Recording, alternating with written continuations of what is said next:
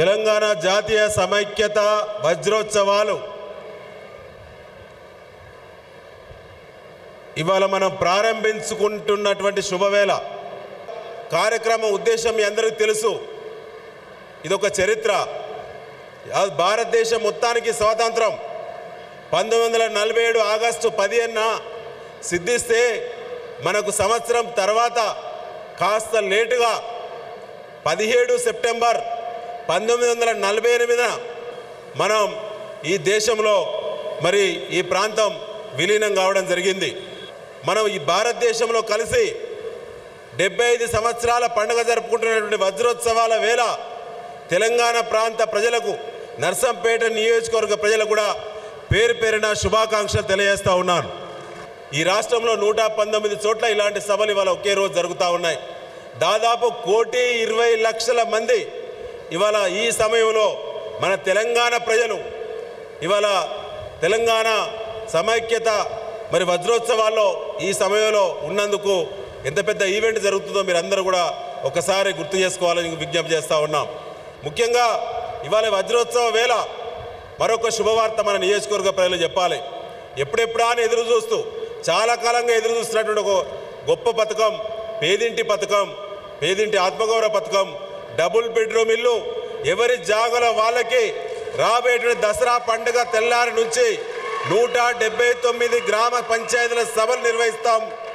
పట్టణంలో ఇరవై నాలుగు వార్డుల్లో సభలు నిర్వహిస్తాం.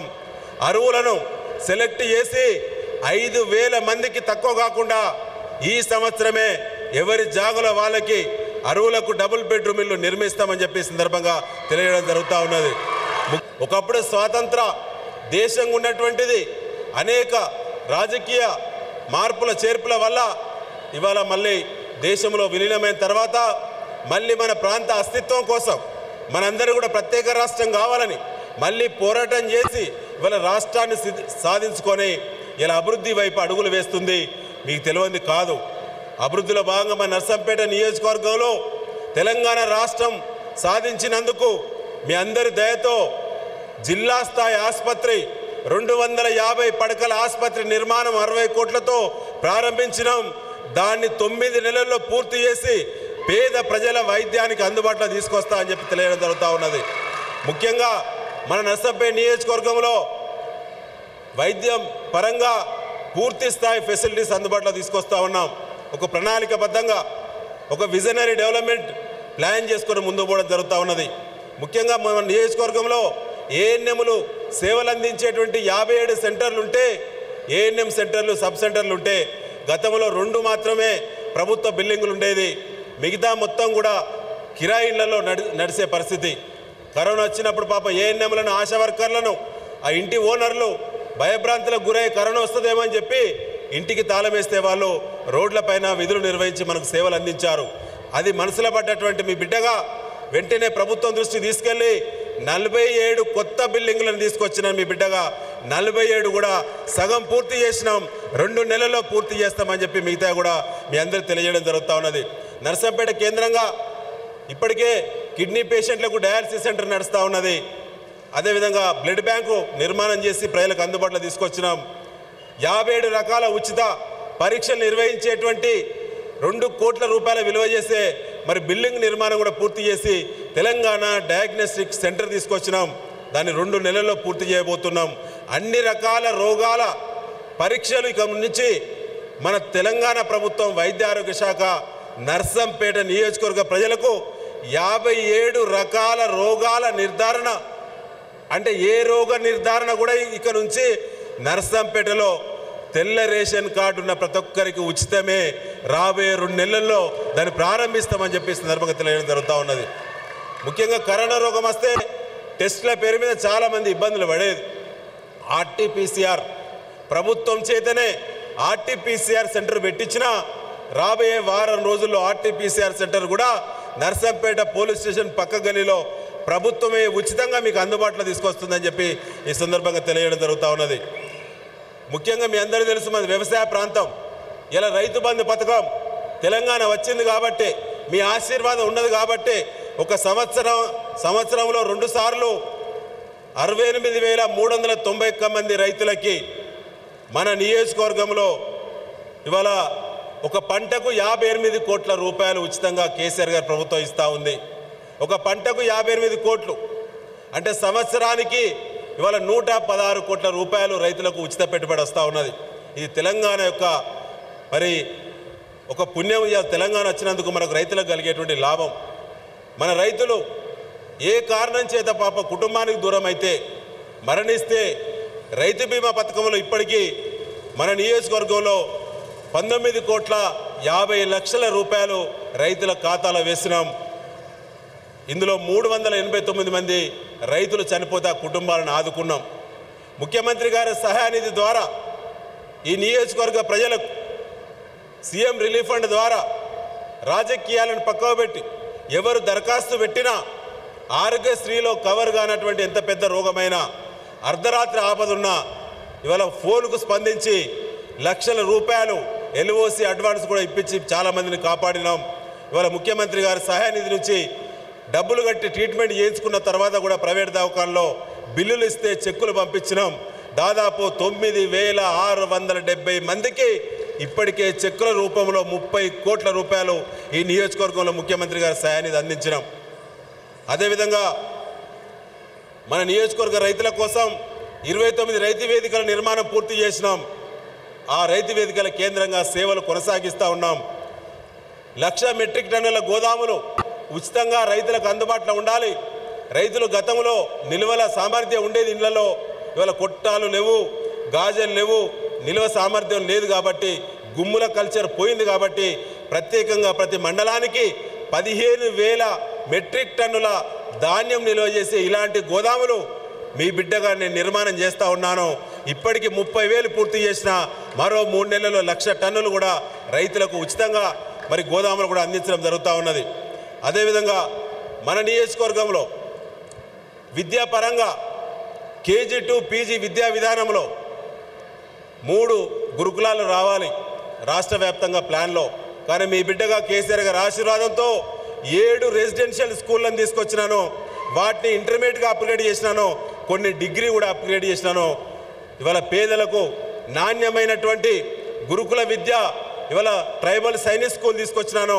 అది ఇవాళ స్కూల్ తీసుకొచ్చి నెక్స్ట్ ఇయర్ ఇంటర్మీడియట్ అప్గ్రేడ్ చేసినాను.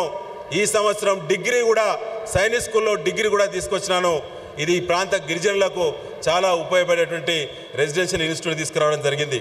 అదే కాకుండా ఎస్టీలకు బాయ్స్ రెసిడెన్షియల్ స్కూలు ఎస్సీలకు గర్ల్స్ రెసిడెన్షియల్ స్కూలు మైనార్టీలకు girls residential school half parent లేకపోయినా తల్లి లేకపోయినా లేదా తండ్రి లేకపోయినా లేదా ఇద్దరు పేరెంట్స్ కోల్పోయినటువంటి వాళ్ళకు ప్రాధాన్యత ఇస్తూ ఏ కులానికైనా residential boys school urban residential స్కూల్లో తీసుకురావడం జరిగింది. అదేగాక బీసీల కోసం గర్ల్స్ ఒకటి తీసుకొచ్చినాం బీసీల కోసం బాయ్స్ ఒకటి తీసుకొచ్చినాం. రెండు కూడా బీసీ రెసిడెన్షియల్ స్కూల్ నడుస్తూ ఉన్నాయి. ఇట్లా ఏడు రెసిడెన్షియల్ స్కూల్ తీసుకొచ్చినాం. ఇవాళ విద్యాపరంగా వైద్యపరంగా మీరు చూస్తూ ఉన్నారు. ఒకప్పుడు ఎక్కడుండే ఇవాళ విద్య వైద్యం ఎంత ముందుకు సాగిందో ఒక్కసారి మీరు అర్థం చేసుకోవాలని విజ్ఞప్తి చేస్తూ ఉన్నాం. ఇవాళ మీ బిడ్డగా కేసీఆర్ గారి యొక్క ఆశీర్వాదంతో గోదారమ్మ తల్లి మొట్టమొదటిసారి నర్సంపేట రైతుల పొలాల్లో అడుగు పెట్టించినాం. ఇలా పాకాల రంగాయచరు చెరువు ప్రాజెక్టు పూర్తి చేసి గోదావరి నీళ్ళు ఇవాళ నర్సంపేటలో రెండు పంటలకు సరిపడా ఇస్తూ ఉన్నాం. ఇరిగేషన్లో నంబర్ వన్ పదమూడు చెక్ డ్యాములు మంజూరు తీసుకొచ్చి పది పూర్తి చేసినాం. రేపో మాపో మరో మూడు కూడా పూర్తి చేయబోతూ ఉన్నాం. ఇరిగేషన్లో నెంబర్ వన్ స్థానంలో ఉన్న ఉమ్మడి జిల్లాలో. విద్యాపరంగా నంబర్ వన్ స్థానంలో ఉన్నాం. ఇవాళ వైద్యపరంగా నంబర్ వన్ స్థానంలో ఉన్నాం. సంక్షేమంలో మొన్నటి వరకు ముప్పై ఐదు వేల మందికి ఆసరా పెన్షన్లు వచ్చినాయి ఈ నియోజకవర్గంలో. మొన్ననే కేసీఆర్ గారు ఆశీర్వదించి మొన్ననే మంజూరు ఇచ్చారు. ఊళ్ళల్లో పెన్షన్ల పండుగ జరుగుతూ ఉన్నది. ఏ ఊరు పోయినా ఊరూరు బ్రహ్మరథం పడతా ఉన్నారు. పన్నెండు వేల మందికి కొత్త పెన్షన్ల పంపిణీ ప్రక్రియ జరుగుతుంది నర్సంపే నియోజకవర్గంలో. మిగిలిపోయిన వాళ్ళు ఎవరన్నా రెండు వేలో మూడు వేలో మిగిలిపోయి ఉంటే ఎవరు ఆందోళన చెందాల్సిన అవసరం లేదు. రాజకీయాలను పక్కకు పెట్టి పేదల సంక్షేమంపై దృష్టి పెట్టి అరువులైన ప్రతి ఒక్కరి దరఖాస్తులు మళ్ళీ తీసుకుంటున్నాం. అవన్నీ కూడా ప్రత్యేక జీవో తీసుకొచ్చి ఒక్క అరువుడు కూడా మిగలకుండా అందరికీ పెన్షన్లు ఇచ్చే బాధ్యత నాది అని కూడా ఈ సందర్భంగా తెలియజేయడం జరుగుతూ ఉన్నది. ఇట్లా సంక్షేమం పైన దృష్టి పెడతా ఉన్నాం. దళితుల సంక్షేమం కోసం ఈ రాష్ట్రంలో ఎక్కలేని విధంగా డైరీ ప్రాజెక్టు పాడి గేదెల ప్రాజెక్టు తీసుకొచ్చినాం. ఆరు వందల యాభై కుటుంబాలకు వ్యక్తిగత లబ్ధి చేకూర్చినాం. దళిత బంధు ఇటీవలనే వంద మంది యూనిట్లు ఇచ్చినాం. రేపో మాపో బెనిఫిషియర్స్ను సెలెక్ట్ చేయబోతా ఉన్నాం. పదిహేను వందల కుటుంబాలకు దళిత బంధు కూడా ఇవ్వబోతా ఉన్నాం. ఇట్లా సంక్షేమం మీద దృష్టి పెడతా ఉన్నాం. గతంలో బీటీ రోడ్లు లేక చాలా తండాల్లో గ్రామాలు ఇబ్బంది పడుతుంటే ఇటీవల కాలంలో అరవై రెండు గ్రామాలకు బీటీ రోడ్లు ఫస్ట్ టైం ఇచ్చిన మీ బిడ్డగా రేపో మాపో ఈ నియోజకవర్గానికి నూట యాభై కోట్ల రూపాయల బీటీ రోడ్లు ఫస్ట్ టైం రోడ్లు తండాలకు గ్రామాలకు గూడాలకు తీసుకురాబోతున్నాను. నా టర్ములనే పూర్తి చేసి ఒక్క గ్రామం కూడా డాంబర్ రోడ్ లేని గ్రామం కానీ డాంబర్ రోడ్ లేని తండ కానీ మిగిల్చకుండా మరి పూర్తి చేసే బాధ్యత కూడా ఇలా భుజానేసుకొని పోతున్నాం. ఆర్వైఎఫ్ఆర్ పట్టాల కోసం దరఖాస్తులు తీసుకున్నాం. నిన్నగాక మొన్న అసెంబ్లీ సందర్భంగా జీవో నూట నలభై విడుదల చేసిండ్రు మన ముఖ్యమంత్రి గారు కేసీఆర్ గారు. మన నియోజకవర్గంలో ఏడు వేల నాలుగు వందల మంది దరఖాస్తులు పెట్టుకున్నారు. ఇరవై వేల పైచలకు సేద్యం చేసుకుంటున్నట్టు సమాచారం ఇచ్చారు. రేపో మాపో స్క్రూటినీ చేసి గ్రామ సభలు పెట్టి కొత్త ఆర్ఓఎఫ్ఆర్ పట్టాలు కూడా నా చేతుల మీదకి వెళ్ళి ఇస్తా అని చెప్పి ఈ సందర్భంగా తెలియడం జరుగుతూ ఉన్నది. ఇట్లా చెప్పుకుంటా పోతే ప్రతి పని కూడా ఒక విజన్తో చిల్లర రాజకీయాలను పక్కకు పెట్టి ఎవరి మీద కామెంట్ చేయకుండా ఎవరు ఎన్ని అవమానాలకు గురి చేసినా ఎన్ని తప్పుడు ప్రకటనలు చేసినా దానిపై ఆసక్తి కనబరచకుండా పట్టించుకోకుండా ఏ లక్ష్యం అయితే మీరు నిర్దేశించిన ఎమ్మెల్యే గెలిపించిందో ఆ లక్ష్య సాధనలో అడుగు ముందుకే వేస్తే తప్ప పక్కకు జరగను. ప్రాణం పైన ఇచ్చిన మాట నిలబెట్టుకొని ఏ టర్ములు కానీ అభివృద్ధి ఈ టర్ములు అయిందని చెప్పి అన్ని వర్గాల మెప్పు పొందుతా అని చెప్పి సందర్భంగా తెలియజేస్తూ ఇవాళ ప్రత్యేకంగా ఈ వజ్రోత్సవాల సందర్భంగా మీ అందరి కూడా పేరు పేరున శుభాకాంక్షలు మీ అందరి ఆశీర్వాదం మరొకసారి ఉండాలని చెప్పి నేను తెలియజేస్తూ మరి ఇప్పుడు